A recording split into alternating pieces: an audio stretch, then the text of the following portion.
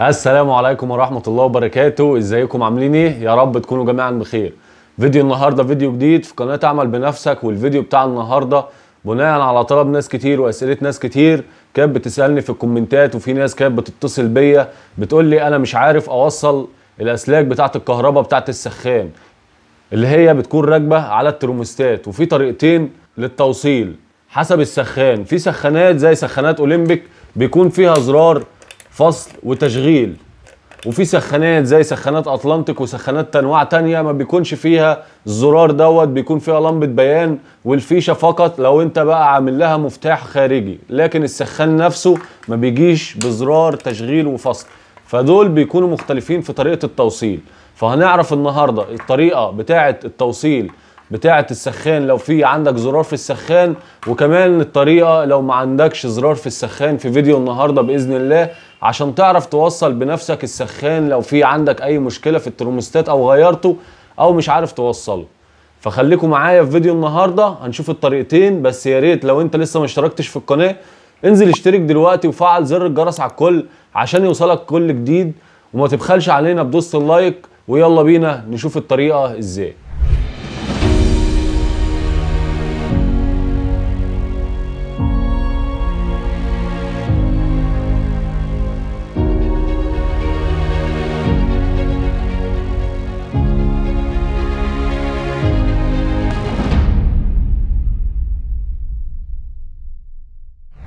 تعالوا مع بعض نشوف الطريقة بتاعة توصيل الكهرباء للسخان إزاي وزي ما قلنا في طريقتين للتوصيل.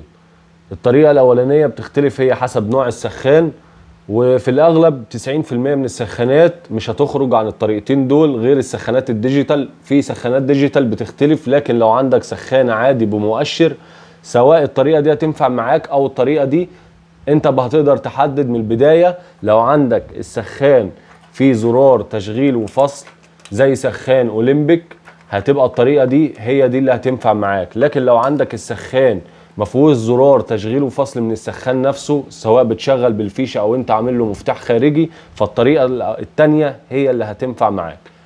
تعالوا نبتدي أول حاجة بالسخانات اللي هي ما فيهاش زرار تشغيل. أدي السلك الرئيسي زي ما أنتم شايفين. السلك الرئيسي اللي معانا ده فيه ثلاث أطراف اهم زي ما أنتم شايفين. سلك أهو في أخضر وأصفر مع بعض وفي سلك أزرق وفي سلك بني. وادي الترموستات هتوصل إزاي؟ ومعانا طبعا لمبة الاختبار أو لمبة البيان بتاعه السخان اللي هي بتنور لك لما بتكون السخان وصل درجة المية بتاعته. السخونية المطلوبة بتبتدي تفصل وطول ما المية لسه ساقعة بيبتدي اللمبة دي بتكون منورة. طيب أول حاجة هتجيب مفك كده وهتلاقي عندك مسمارين. أدي مسمار وأدي مسمار. المسمار ده مكتوب عليه حرف ال A والمسمار ده مكتوب عنده حرف ال B هتفك المسمار ده كده شوية مش هتفكه قوي وهتفك المسمار ده كده شوية. طيب هتجيب بقى السلك الرئيسي بتاع الفيشة. هتوصل الطرف الأزرق اللي معانا ده أهو في حرف ال A أهو. كده زي ما أنتم شايفين. وهبتدي أربط المسمار ده كويس. وأتأكد إن هو ربط. طيب حرف ال B هنوصل فيه الطرف البني. أهو برضو نفس الطريقة كده. وهنبتدي نربط.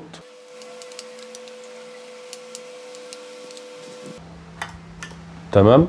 زي ما انت شفتوا كده حرف البي في الطرف البني وحرف الايه السلك الأزرق. فاضل معانا السلك اللي إحنا قلنا عليه أصفر فاخضر ده بيتربط في جسم ال heater. جسم ال heater هتلاقي عندك ال heater مساحته كبيرة مدورة وهتلاقي في مكان ربط في جسم ال heater هتبتدي تربطه في جسم ال heater وكده هتبقى وصلت توصلت السخان اللي معاك. طبعا الترموستات ده بيركب على ال heater ممكن نبص كده أدي ال heater. ال heater بيكون فيه هنا الطرفين دول. الطرفين دول بيخشوا هنا كبس كده. تركب كده. أهو. زي ما أنتم شايفين كده أهو باين معاكم بنبتدي نزق كده ركب. وتركب طبعا الهيتر بيكون راكب جوه السخان. أنا بس بحاول أوضح لكم بيركب إزاي للناس برضو اللي مش عارفة الطريقة دي. تمام؟ طيب كده وصلنا. نشوف بقى اللمبة. ادي اللمبة اللي معانا. بتبص هنا بتلاقي في فتحتين اهم زي ما أنتم شايفين. هتجيب طرف هنا اي طرف فيهم يعني وهتوصله هنا. والطرف التاني بتركبه هنا. زي ما أنتم شايفين كده بتركب كبس بس ما فيش حاجة. ما بتتربطش ولا أي حاجة. هي بتربط كبس كده. كده وصلنا لمبة البيان بتاعت السخانة اهي تمام؟ كده تقدر تركب الترموستات ومش هيكون عندك أي مشكلة. دي أول طريقة. تعالوا بقى نشوف الطريقة التانية. الترموستات طبعا ما بيكونش مختلف. الترموستات هو هو الترموستات الطريقة دي بتختلف في إيه؟ عشان زي ما قلنا ده زرار التشغيل. أهو. هنشوف كده نقلب كده عشان نشوف. ده زرار التشغيل اهو. on و off تقدر تشغل منه السخان وتطفي بدل ما تشيل الفيشة أو لو أنت مفيش عندك مفتاح خارجي بتقدر تشغل من هنا وتطفي. تمام؟ اللمبة دي بتعرفك إما السخان واصل له كهرباء. يعني دي مش بتنور وتطفي زي اللمبة دي. اللمبة دي وظيفتها إما بتعرفك إما السخان واصل له كهرباء. بتفضل طول ما السخان واصل له كهرباء والفيشة محطوطة بتفضل منورة. أول ما بتفصل بتبتدي اللمبة دي تطفي. لكن اللمبة دي وظيفتها إن هي بتعرفك المية اللي في الحلة بتاعت السخان سخنت ولا ساقعة. طول ما اللمبة منورة يبقى كده السخان لسه بيسخن المية ودرجة الحرارة اللي مظبوط عليها الترموستات ما وصلتش للدرجة المطلوبة. أول ما المية بتسخن بتبتدي اللمبة دي تطفي. يبقى دي عرفنا لمبة التشغيل عشان هنشرح دلوقتي إزاي التوصيل فلازم تركز في الحاجة دي. دي لمبة التشغيل ودي لمبة البيان. لمبة البيان اللي بتعرفك السخان الميه سخنت ولا لا. ودي لمبة التشغيل وده المفتاح. طيب تعالوا بقى نشوف الطريقة. آدي السلك الرئيسي بتاع السخان بتاع الكهرباء. طرفين هم معانا طرف بني والطرف الأزرق. زي ما إحنا شفنا في الأولاني هنا بقى التوصيلة إزاي؟ ادي الطرف البني الرئيسي زي ما أنتم شايفين. الطرف الرئيسي ده بتجيب طرف من لمبة اللي هي لمبة التشغيل بتاخد لها من الطرف البني وبتوصل الاتنين مع بعض وبتبتدي توصلهم على المفتاح. في جنب واحد مع المفتاح اهو. تمام؟ زي ما أنتم شايفين كده اهو. الاتنين متوصلين مع بعض في المفتاح. وبتجيب سلك تاني بتوصله في الطرف الباقي اللي من المفتاح بيفضل معاك اهو. ده هنشوف برضه هنعمل فيه إيه. طيب والطرف الأزرق بقى اللي جاي الطرف الأزرق برضه في طرفين. إحنا وصلنا من اللمبة دي في البني الطرف التاني اللي معانا هنوصله في الأزرق. عشان لم عشان دي اللي هتفضل منورة طول ما قلنا الكهرباء بتاعت السخانة هتكون متوصلة فلازم هنديها طرف من من السلك بتاع الكهرباء طرف هنا في الأزرق وطرف في البني كده سهلة. الطرف البني دخلناه على المفتاح والطرف الأزرق اللي معانا هنربطه على الترموستات. هنيجي هنا اهو. هنفك برضو. المسمارين زي ما قلنا كده شوية. وهنوصل الطرفين دول مع بعض في حرف الايه كده. وهتبتدي تربط.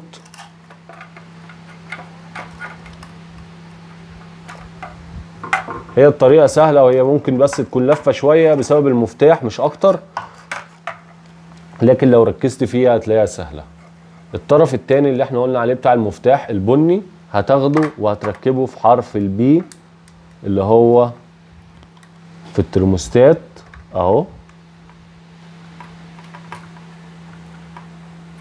زي ما أنتم شايفين كده. يبقى إحنا كده وصلنا المفتاح ولمبة التشغيل مع بعض اهم فاضل معانا بقى إيه؟ فاضل معانا لمبة الاختبار اللي إحنا قلنا لما بتسخن المية بتفصل طول ما المية ساقعة في السخان اللمبة بتفضل شغالة. دي هتركب فين؟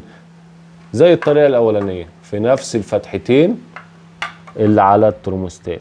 طرف هنا وطرف هنا. أهو. زي ما أنتم شايفين كده. الموضوع سهل جدا. لمبة البيان اللي هي لمبة الاختبار بتاعة الحرارة بتتوصل على الترموستات. لمبة التشغيل بتاخد طرف في البني وطرف مع الأزرق والأزرق بيتوصل في الترموستات على ال B على ال A والبني بيتوصل على ال B وكده تكون وصلت الترموستات أو وصلت الكهرباء للسخان دي الطريقة التانية. وهتلاقي 90% دول الطريقتين اللي موجودين في كل السخانات زي ما قلنا. وبكده يكون شرحنا طرق التوصيل الكهرباء للسخان. يا ريت لو عندك أي استفسار اكتب لي تحت في التعليقات وأنا هرد عليك بنفسي. ولو عندك أي مشكلة في أي جهاز كهربائي خش عندي على القناة هتلاقي فيديوهات كتير زي ما أنتم شايفين لحل مشاكل جميع الأجهزة الكهربائية والأجهزة المنزلية. ولو في عندك مشكلة ومش لاقي فيديو على القناة اكتب لي في أي comment. بإذن الله احاول أتواصل معاك أحل لك مشكلتك أو أنزل لك فيديو لحل مشكلتك على القناة. يا ريت ما تنساش الاشتراك في القناة كدعم لينا. ودوست ال like وأشوفكم في فيديو جديد في قناة اتعلم بنفسك. سلام.